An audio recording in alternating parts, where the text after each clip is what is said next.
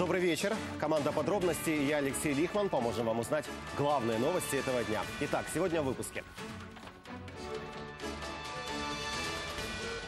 Конституционный поворот. Рада изменила основной закон. Что изменится на деле? Дорогие гектары. Какую взятку требовал глава сельсовета за разрешение на аренду земли под Киевом? Львовский мусор. Кого обвиняют родственники погибших на городской свалке? Полная перезагрузка. Парламентарии дали старт судебной реформе. Закон о судоустройстве и статусе судей поддержал 281 нардеп. Итак, Украина, согласно нему, возвращается к трехуровневой судебной системе, которая действовала до 2002 года. Суды первой инстанции, апелляционные и Верховный суд. Спецсудов больше не будет. Для людей в мантиях меняется и возрастной ценз. Раньше должность судьи можно было занимать с 30 лет, теперь с 35. Оклады увеличены в несколько раз. Зарплата судьи первой инстанции 30 минимальных заработных плат. Это 43,5 тысячи гривен в месяц. Апелляционного 50 минималок. Это 72,5 тысячи гривен в месяц. Судьи Верховного суда более 100 тысяч, и это без надбавок, а вот с ними уже около 300 тысяч. При этом судей лишат неприкосновенности, и все без исключения они должны пройти аттестацию, сдать экзамены и две декларации о доходах собственных и своей семьи. Изменения коснутся и назначений. Вопрос о переводе судей из одного суда в другой будет решать не президент, а Высший совет правосудия. И вот по его представлению глава государства сможет назначать служителей Фемиды. Принятие этого закона было необходимо для внесения изменений в Конституцию. Здесь голосов уже собрали более 300. Кто был за, кто против и почему, все расскажет Екатерина Лысенко. На удивление, высокая явка нардепов в Раде сегодня говорит об одном. Здесь настроены голосовать. Из гостевой ложи за избранниками наблюдают дипломаты, а с трибуны говорят, сегодня будут менять судебную систему, уверяют, даже молились об успешном голосовании. Представники усіх конфесій молилися, щоб дати нам, народним депутатам, силу і мудрість в ухваленні рішень, які б дали б Україні справедливий суд. Задача максимум изменить Конституцию, но прежде принять закон, который ведет в действие те самые новые нормы. Что изменится, по очереди поясняют с трибуны. Часть судов уйдет в историю, зато появится новый Верховный суд. Створюється новий Верховний суд з новими функціями, новою структурою і новим складом.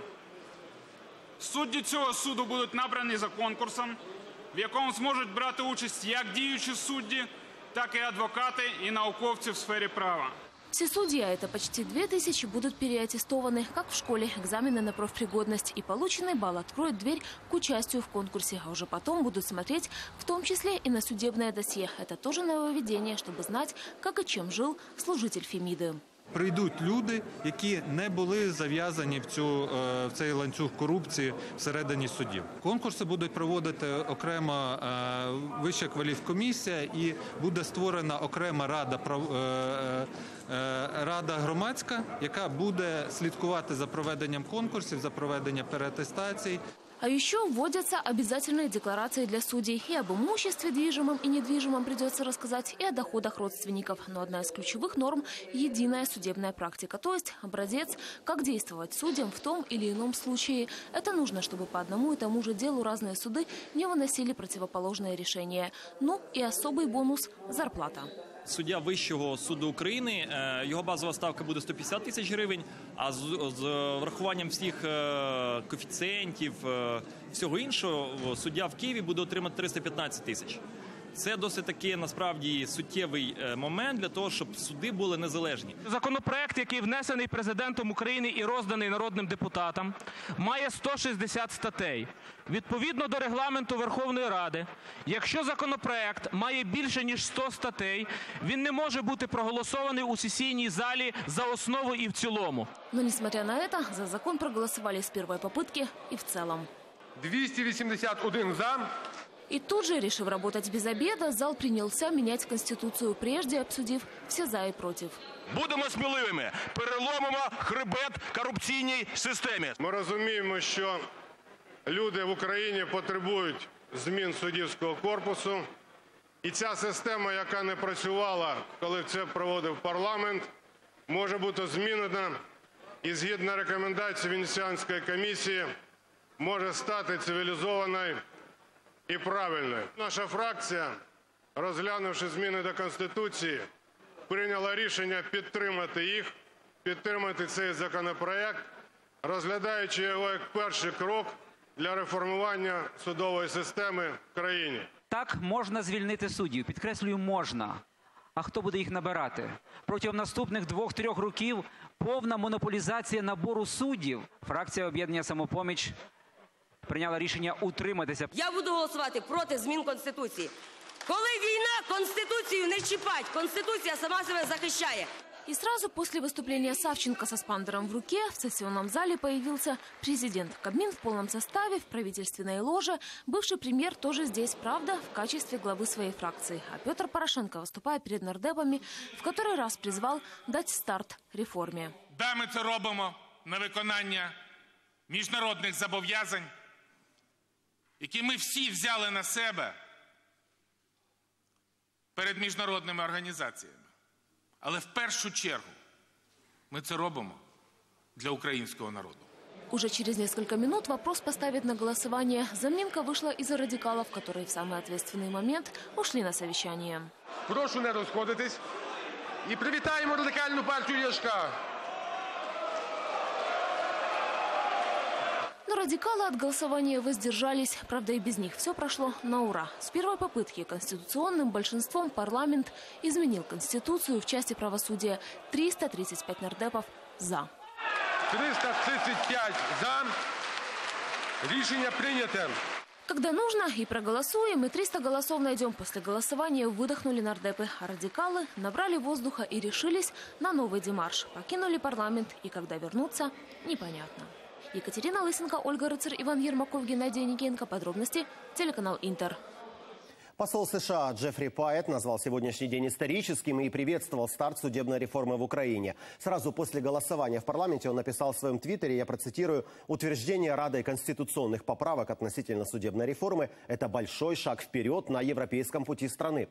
Также дипломат заверил, что США готовы поддержать преобразование судебной власти, снова процитирую, «в независимый, подотчетный и эффективный институт». Одобрительно одобри, одобрили сегодняшнее голосование в Верховной Раде и в Евросоюзе. Глава внешнеполитического ведомства ЕС Федерико Магерини и комиссар по вопросам расширения и политики добрососедства Яханес Хан сделали совместное заявление. Они отметили, что с нетерпением ожидают осуществления всеобъемлющей реформы судебной системы. Глава Венецианской комиссии, консультативного органа при Совете Европы по конституционному праву Джанни Букикио заявил, что рад результатам сегодняшнего голосования. Украинские депутаты, по его мнению, показали готовность ответственно действовать в интересах страны. В ближайшее время президент представит кандидатов в новый состав Центра избиркома. Об этом на своей странице в Фейсбуке написала одна из представителей трехсторонней контактной группы по урегулированию конфликта на Донбассе Ольга Айвазовская. Сегодня она встречалась с главой государства и, как сообщает Петр Порошенко, пообещал озвучить имена кандидатов уже в течение двух дней. По мнению Айвазовской, результаты промежуточных выборов нардепов 17 июля уже должен установить новый состав избиркома. У автолюбителей могут отобрать акцизный пряник. Глава фракции «Самопомощь» Олег Березюк сегодня сообщил, что президент ветировал закон о снижении акцизов на поддержанные авто. И добавил, якобы эта информация инсайдерская, и само вето будет с некими предложениями. Но какими Березюк не знает. Єдиний закон за півтора року, який реально віддає людям гроші в кишені. Реально, все решту це віртуальні гроші. Чомусь накладено вето. Шкода. А вето це платня за сьогоднішнє голосування. Тому що 10 людей в залі, які утримують ще, напевно, декілька десятків людей в цьому залі, сказали ні, забираєте наші гроші і віддаєте людям. Так робити просто не можна.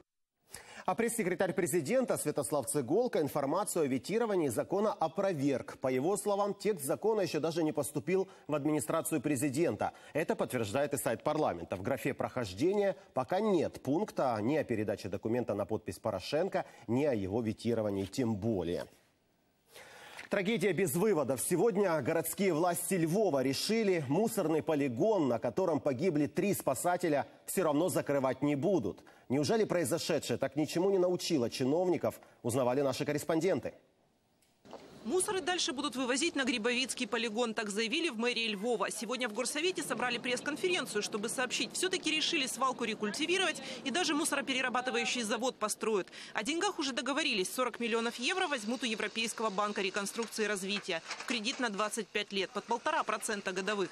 Возвращать будут из городского бюджета. Мол, другого выхода, как залезть в долги, нет. Иначе Львов утонет в мусоре. Когда именно полигон снова откроют, чиновники не сообщили. Но предупредили, отныне информация о том, куда будут возить отходы до открытия свалки, это почти военная тайна во избежание массовых бунтов. Є така небезпека про те, що е, десь певний буде чинитися супротив тому, що вивозиться сміття. Тому ми е, тої інформації ну зараз не оприлюднюємо. Жители Великих Грибовичей, расположенных рядом с полигоном, уже протестуют. Депутаты сельсовета собрали внеочередную сессию и решили приостановить деятельность полигона. Потрібно збирати владу всього Жовківського району і вирішувати питання для себе, куди дівати своє сміття. Як кожен р- район так зробить, і місто Львів для себе питання на Львівщині з сміттям буде вирішено. Жители Грибовичи не желают больше дышать ядовитым смогом от пожаров на полигоне, а родственники погибших спасателей не захотели видеть мэра Львова, садового, у себя в доме. Когда градоначальник пришел к родным Андрея Вненкевича с цветами просить прощения, теща погибшего не выдержала и отправила садового в Освояси. Кожна ота смерть, яку ви бачите тут, такі молоді, які ми закопуємо, то самі минеться без сліду, він теж мав тільки. І хто про них подбає тепер? Батька вже не заміниш. Друзья погибших спасателей говорят, такая реакция родных на визит мэра Львова вполне объяснима. Їх зачепило, вони просто сказали, що така людина не має, не має права йти, вона винувата в тій смерті. Смерті тих людей, тих героїв наших. Їх обурило. Тем временем на Грибовицком полигоне сохраняется угроза нового оползня. Сегодня появилось видео свалки, снятое с высоты птичьего полета. На нем отчетливо видна огромная трещина на склоне горы из мусора. Тем не менее, спасатели продолжают поиски пропавшего без вести сотрудника коммунальных служб. Предполагают, его тело находится под завалом. Ирина Исаченко, Галина Якушка, Юрий Голубинка, телеканал Интер, Львов.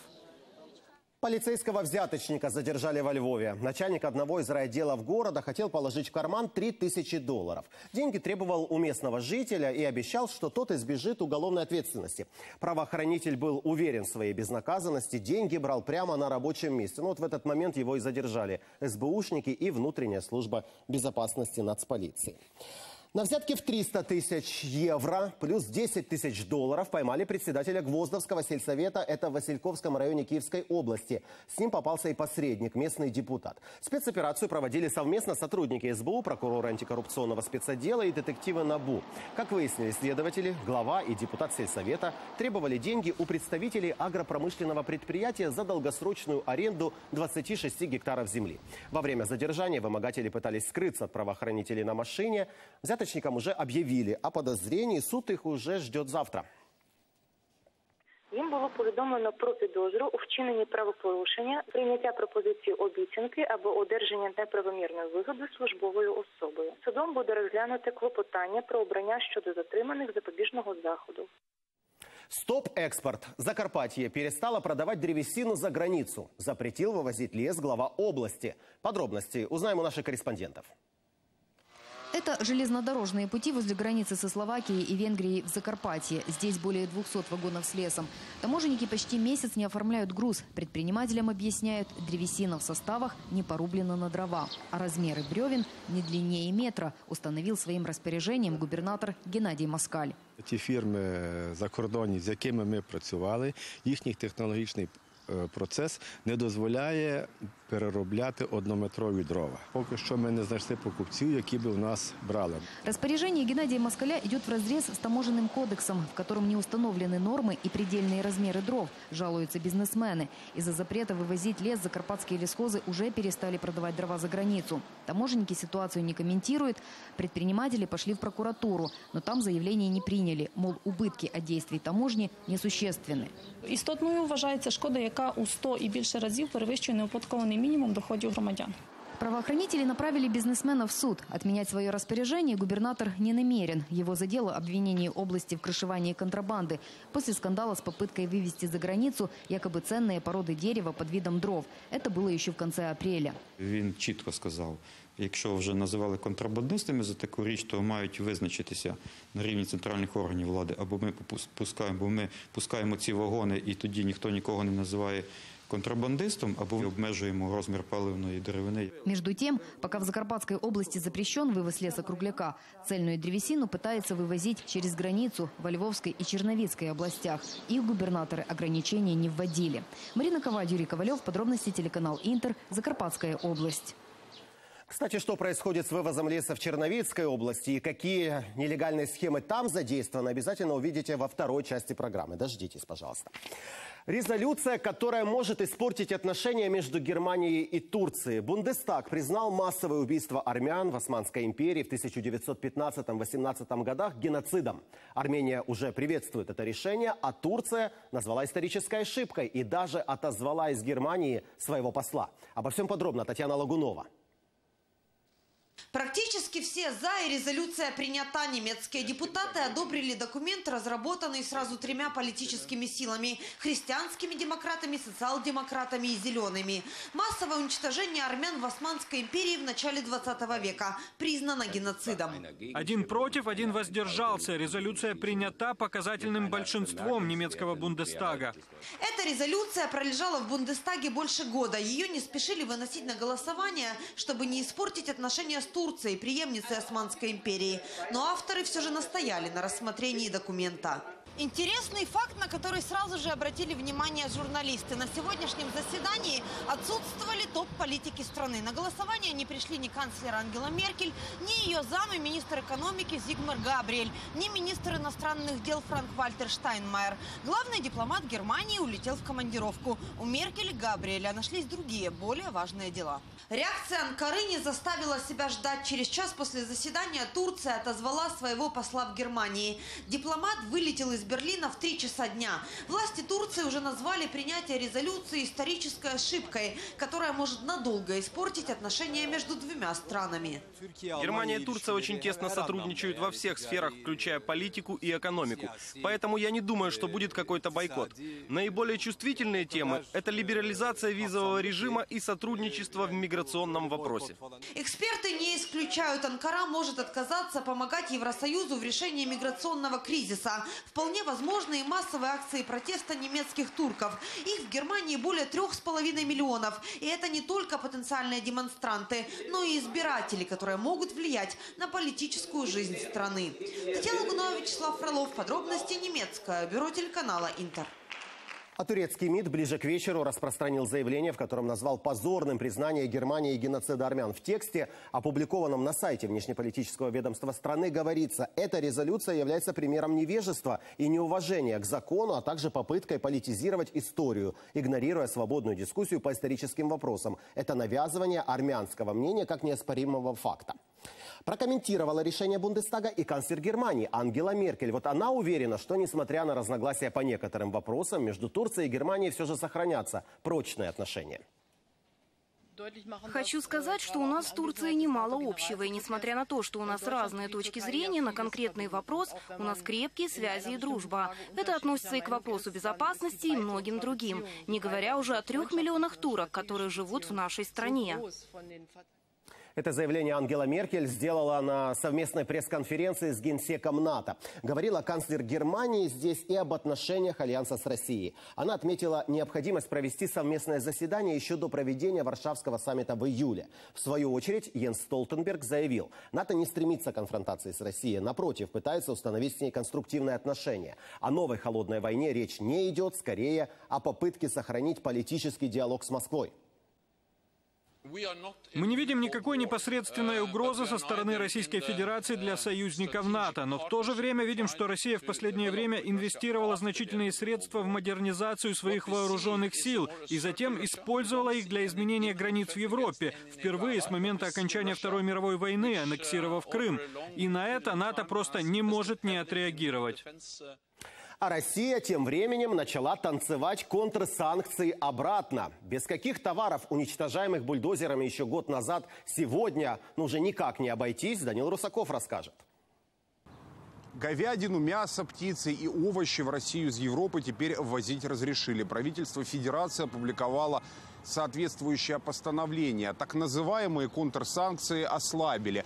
Сырье из западных стран покупать можно, правда, с оговоркой только в том случае, если эти товары пойдут для производства детского питания. На остальную еду это не распространяется. Как заявил вице-премьер Аркадий Дворкович, сырья для приготовления смесей в стране нет. Объяснил такие действия так, цитирую, «Это очень узкая тема». Конец цитаты. Подотчетные Дворковичу чиновники позже разъяснили. В Минсельхозе выпустили целое заявление. Говорят, порядок и объемы ввоза товаров они обязательно лимитируют. Нормы обещают разработать и подготовить в течение трех ближайших месяцев. Там также заверили, с импортозамещением прощаться не хотят. По этой логике ввоз в страну заграничного продовольствия наоборот должен подстегнуть местных производителей. Последние комментариев, правда, пока не давали. Напомню, контрсанкции Санкции в России ввели в 2014 как ответ на ограничительные меры Запада. Данил Русаков, Виталий Коваленко, Московское бюро, телеканала «Интер». Франция передала Египту первый «Мистраль», который строила для России. Церемония состоялась в порту Сен-Назер. На ней присутствовал министр обороны Египта. Присвоили кораблю имя бывшего президента страны Гамаля Абдель-Насера и подняли над ним египетский флаг. Хотя еще в прошлом году вертолетоносец имел название «Владивосток» и предназначался для российских ВМС. Но из-за санкций против Москвы Париж расторг контракт. Не достанется России и второй «Мистраль». Его тоже передадут Египту уже в сентябре месяце. Родственники жертв рейса MH17 подали в суд на малазийской авиалинии. Родные шести членов экипажа обвиняют авиакомпанию в халатности и нарушении условий контракта. А именно в том, что там не приняли во внимание конфликтную ситуацию на востоке Украины при выборе маршрута. От авиаперевозчика требуют компенсации за то, что не смог обеспечить безопасность своих сотрудников. Напомню, пассажирский самолет был сбит над Донбассом в июле 2014 года. Погибли тогда 298 человек. По результатам расследования международной группы следователей лайнер был сбит при помощи российской системы БУК. Более 50 раз боевики нарушали условия перемирия на Донбассе. Традиционно жарко под Авдеевкой и Горловкой, а под Стахановым не прекращается война разведок. Последние новости из зоны АТО в сюжете Руслана Смещука. На этих кадрах с дрона ОБСЕ тяжелые самоходки «Акация» 152-миллиметровыми снарядами разносят Авдеевскую промзону. Работают из поселка Минеральная под Донецком. Это было несколько дней назад, но этой ночью в промзоне снова разрывались снаряды и мины. А это армейские позиции возле оккупированного Стаханова. Здесь тяжелая артиллерия боевиков молчит, но перемирия нет. Почти каждую ночь сюда подходят диверсионные группы противника. Заходят они со Стаханова, с балки там, спускаются по балке к нам, там, где мы их толком не видим. Обстреливают ребят. Вчера, позавчера и позапозавчера. Четыре дня подряд, грубо говоря, они залазили. Мы открывали огонь. Бывают, что снайпера работают. А это уже позиции вблизи оккупированной Горловки. Здесь по ночам тоже неспокойно. Везде свежие воронки от минометов и гранатометов. Но и днем расслабляться не стоит. По нам работает СВД, по нам. По ребятам дальше работает винтовка. Как называется, точно я не скажу. Э, ну, калибр 12,7. Ну, мы постоянно в окопе. День-два спокойствия. Это, это, раз, это расслабон. Поэтому в свободное от дежурств время военные в буквальном смысле зарываются в землю, углубляют окопы, строят новые блиндажи. Вот это вот блиндаж сами пацаны рыли. Земля, конечно, почва кошмарная. Ну, сделали. Сейчас еще будут несколько слоев делаться. Здесь что хорошо, что если даже будут крыть минами, в принципе, здесь деревья. Сюда только осколки придут. Тем более погода помогает. После нескольких дней проливных дождей на Донбассе снова солнечно.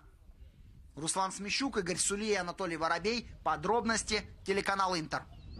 Ночные гонки в Харькове. Во время патрулирования экипаж полиции заметил БМВ без номерных знаков. Инспектор подал знак «Остановиться», но водитель не отреагировал на это требование, попытался скрыться. Патрульные вызвали на помощь дополнительные экипажи и начали погоню. Через некоторое время автомобиль удалось догнать. Известно, что в машине были граждане Азербайджана. По мнению патрульных, все они, включая водителя, были под действием наркотиков. К тому же у водителя не оказалось прав. Во время обыска патрульные нашли пистолет в салоне. Нарушителей задержали, но комментировали комментировать что-либо на камеру в харьковской полиции пока отказываются. Продолжаем подробности. Вот что узнаете из второй части выпуска. Кто направил вандалов, попытавшихся поджечь офис телеканала? Черкасский дурман. Кому городской чиновник сбывал психотропное зелье? Призрачный лес. Куда целыми вагонами пропадает ценная украинская древесина? Парижские плавни. В Европу пришла большая вода. Угрожает ли стихия Украине? Очередной акт устрашения телеканала «Интер». Сегодня днем неизвестные в масках подожгли шины у центрального входа в здание телеканала, после чего убежали. При этом едва не пострадал работник нашего канала. Он в последний момент увернулся от языков пламени. Масштабного пожара удалось избежать, но график работы съемочных групп был сорван. «Интер» подал заявление в правоохранительные органы с требованием найти и наказать злоумышленников. Уголовное производство уже открыли. Они бросили шины перед входом э, на телеканал. Э, Я буквально стоял в шаге от них. Открыли бутылку с зажигательной смесью, смесью облили его этой смесью и подожгли зажигалку. Я успел только отскочить, побоялся, чтобы самому не загореться. Их опознать невозможно, потому что лица были до половины скрыты. Э, Ну, плат- платком таким обвязаны все. Молодые парни. Фактично сам інцидент тривав е, лічені секунди. Е, На цей час проведені всі першочергові слідчі дії, е, зокрема вилучені записи з камер відеонагляду, на яких чітко зафіксоване правопорушення. Це хуліганські дії передбачено до 5 років обмеження волі або ж до 4 років позбавлення волі. Проводимо подальші оперативно-розшукові заходи, спрямовані на встановлення і затримання осіб. Интер расценивает этот инцидент как попытку оказать давление на сотрудников общенационального телеканала и блокировать его работу. Об этом говорится в заявлении на сайте телекомпании. Любые формы давления на СМИ и их сотрудников не должны иметь места в правовом государстве, отмечается в этом сообщении. Жители Кировограда сегодня митинговали против переименования города в Крапивницкий. Несколько сотен человек собрались под зданием мэрии и требовали, чтобы депутаты учли мнение общины. На площади установили экран с трансляцией заседания Верховной Рады, но узнав, что сегодня вопрос о переименовании города рассматриваться не будет, митингующие разошлись и пообещали, что продолжат акцию завтра. А вот в Одесской области компания по переименованию добралась до Дмитровки Татарбунарского района. Ее жители узнали, что село должно стать теперь Дельжилером. Так оно называлось до 1945 года. Еще зимой на общественных слушаниях э, жители выступили против переименования, но депутаты решили, что Дмитровка названа в честь революционного деятеля Димитрова и подлежит декоммунизации. На собрание жителей приехали депутаты оппозиционного блока. Они пообещали, что опротестуют решение в судебном порядке. Выход с этой ситуации один. Это идти в суд и доказывать свои права и свое мнение.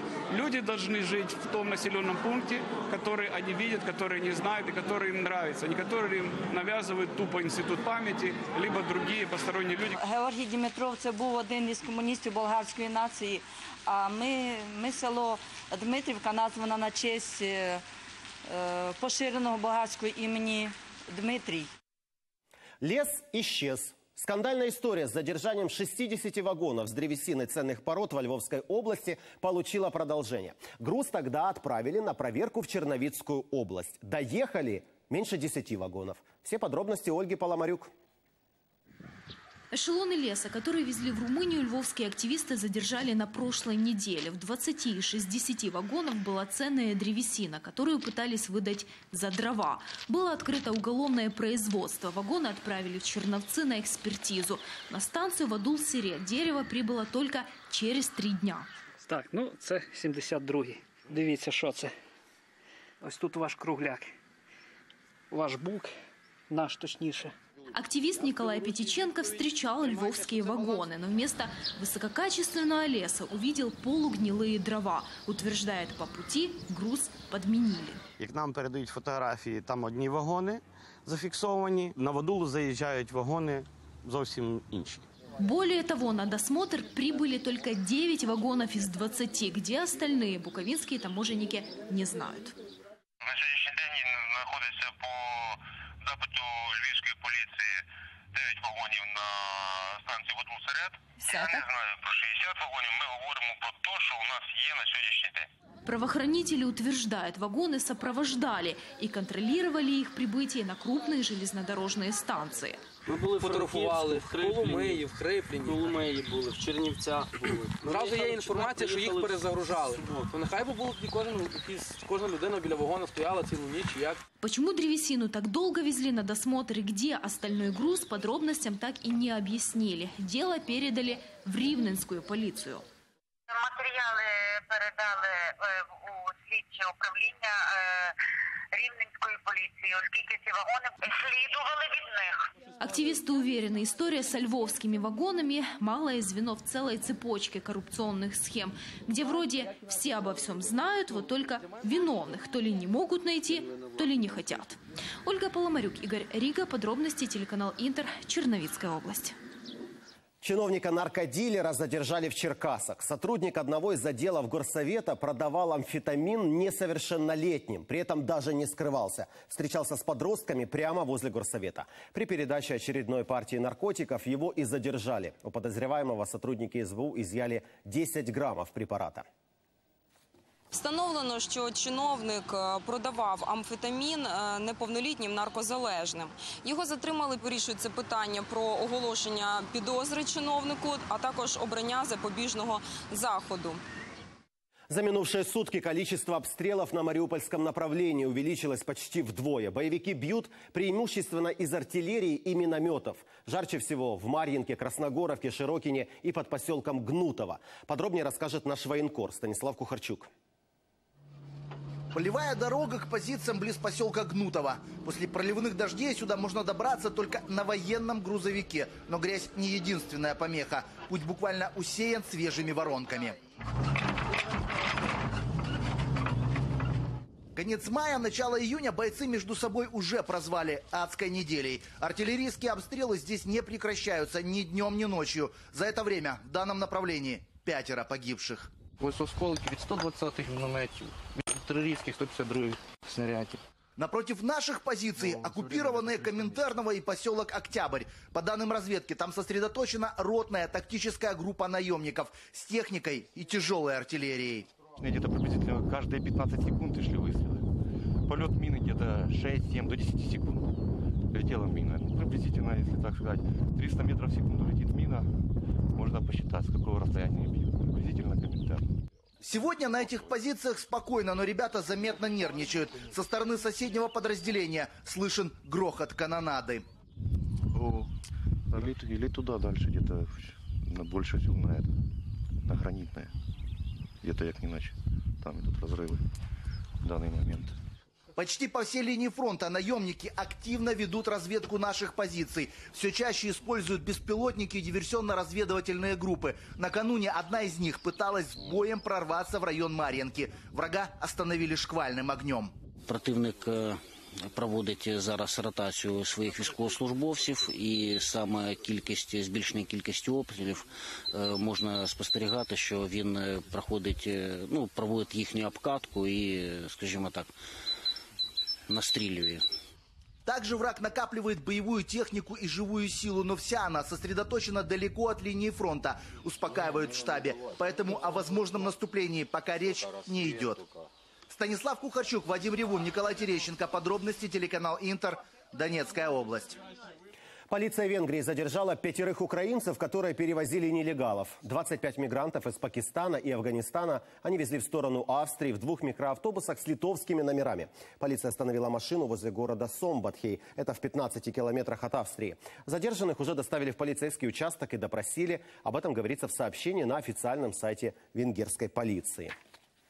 Европа в воде. Сильнейшее наводнение во Франции и Германии. Дожди там не прекращаются уже вторую неделю. На данный момент известно о пяти погибших. Как местные власти пытаются противостоять стихии, с места событий Геннадий Вивденко.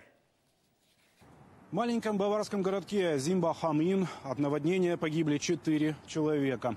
Представители местной власти оценили масштаб убытков. Вода в реках прибывает поминутно. Разрушены автодороги, частично или полностью затоплены десятки частных домов.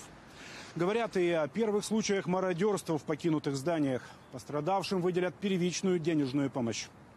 Предложим обширный пакет помощи. Предварительно завтра с утра около районных отделений власти будет выплачено пострадавшим гражданам 1500 евро на ремонт домов. Критической точки достиг уровень воды в Рейне. Самая опасная ситуация на севере Германии, Вестфалии. Там спешно укрепляют дамбы. Спасатели и волонтеры готовят и устанавливают мешки с песком. Судоходство по реке пока не приостановлено, а это один из основных промышленных регионов страны.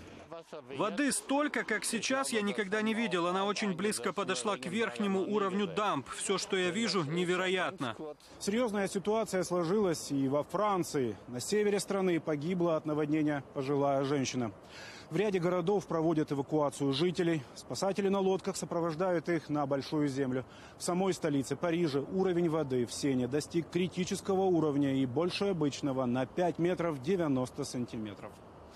Специалисты говорят, что при превышении отметки в 6 метров придется закрывать подземные пригородные электрички, так называемые RER. Но пока присутствие духа парижане не теряют. Я не думаю, что вода перехлестнет защитное сооружение на берегу, потому что во время сильнейшего наводнения, которое я видела в 1955 году, все было намного страшнее. Думаю, все наладится само собой. Пика наводнения во Франции, по словам премьера Мануэля Вальса, власти ожидают в эти сутки. Предварительный ущерб по оценкам Организации экономического сотрудничества в Европе уже оценивают в 30 миллиардов евро. Прекращение дождей в ближайшие дни не ожидается. Тучи пока не расходятся над Европой. Геннадий Вивденко, Вадим Свиридонов. Подробности. Европейское бюро телеканала «Интер». Бойкот израильских товаров, которые пытаются устроить некоторые европейские организации, вдруг привел к неожиданному результату. У компаний, против которых ополчились активисты, растут продажи. Что за экономическое чудо? Разбирался Сергей Услендер. Есть в Израиле такая компания SodaStream, которая производит газированные напитки. А есть такое международное движение BDS – Boycott, Divestment and Sanctions, которое занимается организацией антиизраильских бойкотов. SodaStream их излюбленная мишень. Активисты BDS проводили акции протеста у предприятий компании, пикетировали магазины в Европе и Америке. Досталось от них даже голливудской актрисе Скарлетт Йоханссон, которая снялась в рекламе этого продукта. BDS даже выпустила целую серию дорогостоящих роликов социальной рекламы, э, в которых обращалась к потенциальным покупателям. Мол, оплачивая эту газировку, вы оплачиваете оккупацию и убийство.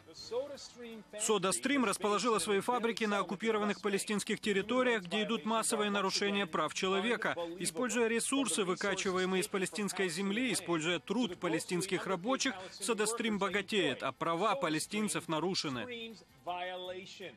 Остальное в том же духе. Как газировка нарушает права палестинцев, авторы роликов, конечно, объяснить не могут. Какие такие ресурсы SodaStream выкачивает из земли, если известно, что в палестинской автономии вообще нет никаких ресурсов, кроме, пожалуй, песка и камней, тоже непонятно. Но вдруг выяснилось, что вся эта шумиха имела совершенно обратный результат. Продажи компании существенно выросли. За 6 лет, пока идут бойкоты, ее прибыль увеличилась почти в 5 раз. С 90 миллионов долларов до 400. Причем сильнее всего она увеличилась именно в тех странах, где бойкоты были сильнее. Например, в, в, в Скандинавии. Скорее всего, тут сработали объективные законы рынка. Все это послужило продукту просто отличной рекламы. Что же касается прав палестинцев, то тут вообще получился очень скверный результат, потому что под давлением общественности компания перевела свои производства из палестинских территорий внутрь страны, и 80 палестинцев просто потеряли работу без всякой надежды ее найти. Вообще надо заметить, что все эти бойкоты еврейского государства имеют какой-то совершенно обратный эффект. Вот простой пример. Инвестиции в израильскую экономику существенно выросли, они демонстрируют устойчивый рост, и только за 2015 год они составили рекордную сумму, почти 280 миллиардов долларов. Сергей Услендер, подробности, телеканал Интер, Израиль. Рейс Стамбул-Киев задержали из-за разговора пассажиров о бомбе. Об этом сообщает турецкое издание Dogan News. Стюардесса услышала, как один из пассажиров говорил, что на борту заложена взрывчатка. Она сообщила об этом пилоту, который и принял решение отложить рейс. Самолет отбуксировали в безопасную зону, а пассажиров эвакуировали обратно в терминал. В результате обыска взрывчатку не обнаружили, но тем не менее вылет был задержан на три часа. За что вышедшего из тюрьмы китайского мафиози вновь хотят посадить за решетку и какой сюрприз можно обнаружить в шоколадном яйце? Об этих и других новостях в нашем обзоре. Канадский автор комиксов и сценарист Блейк Лейбл в США подозревается в жестоком убийстве своей девушки, украинки Яны Касьян. Три недели назад 30-летняя уроженка Киева родила общего с Лейблом ребенка. Однако пара вскоре поссорилась, и женщина переехала к матери. Обескровленное тело Яны Касьян обнаружили в квартире Лейбла. Полицейские утверждают, женщину пытали. Место убийства очень похоже на сцену из романа подозреваемого. Вышедшего из тюрьмы китайского мафиози вновь хотят посадить. Чен Юс последние 20 лет сидел за грабеж, азартные игры и хулиганство. У ворот тюрьмы его встретили фейерверком, чтобы отогнать злых духов. После чего эскорт из 50 машин направился в пятизвездочный отель. Там закатили сабантуй настолько громкий, что мафиози задержали за нарушение общественного порядка. Париже объявили войну старым автомобилям. С 1 июля в городе не увидеть ретро-машин. Власти запретили эксплуатировать в городе авто старше 1997 года. Также в будни мотоциклисты не смогут передвигаться на байках, зарегистрированных ранее 2000-го. Так власти пытаются уменьшить количество вредных выбросов. Китае появились специальные площадки для женщин, которые не умеют парковаться. Здесь места для автомобилей шире обычных на 50% и обозначены специальным символом. Правда, такое нововведение уже вызвало негативную реакцию в соцсетях. Пользователи интернета считают новые парковки сексистскими. Священную воду Ганга купить в интернете. Жители Индии вскоре могут получить ее по почте. С таким предложением к почтовому департаменту обратился министр информации и телерадиовещания страны. Ведомство уже начало переговоры с компаниями о разливе и транспортировке священной воды. Сюрприз в киндер-сюрпризе. В Великобритании мальчик обнаружил наркотик внутри сладостей для детей. Открыв шоколадное яйцо, ребенок увидел вместо игрушки пластиковый контейнер, в котором находился белый порошок. Мальчик отдал находку отцу, а тот обратился в полицию. В Литве в соревновании малышей до года победил десятимесячный любитель ключей. Пятиметровую дистанцию Камелис Домбраукас преодолел за 11 секунд. Всего участвовали 25 карапузов. Родители малышей привлекали их внимание пультами, бутылочками с молоком, шарами, зубными щетками и даже тарелкой с кошачьей едой. Новая эра для британского фунта стерлингов. Одна из самых стабильных и сильных европейских валют отныне станет пластиковой. Кто этому рад, кто нет, и кто из исторических личностей появится на новых купюрах, знает Оксана Кундеренко, она в Лондоне. Теперь официально здесь, в британском министерстве финансов, сегодня презентовали новую пятерку, самую мелкую купюру фунта стерлинга. В обороте она появится с сентября, пока страна прощается со старой. Вот она, зеленая банкнота с изображением Елизаветы II. Королева останется, а на обороте будет новый исторический персонаж Уинстон Черчилль. Кандидатура премьера протестов не вызвала, а вот к материалу, из которого сделаны деньги, пластику, есть вопросы. Так, попытаюсь откусить от нее кусочек. Да уж, у фокусника Элиота Биби теперь одним трюком в арсенале меньше. В Шотландии пластиковые деньги уже в обороте, люди их тестируют на практике и вот что думают.